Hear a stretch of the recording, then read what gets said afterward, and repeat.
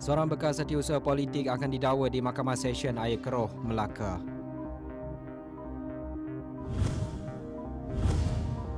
Duta Palestin ke Malaysia akan mengadakan sidang media berhubung keganasan terbaharu rejim Zionis Israel terhadap Palestin.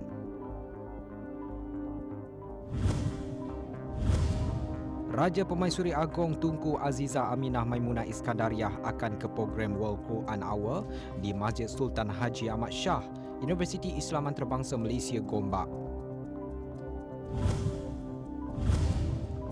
Gabungan Pilihan Raya Bersih dan Adil Bersih akan melancarkan laporan tahunan 2022. Tumpuan dan banyak lagi akan dibawakan di saluran 501 dan semua platform media sosial Astro Awani.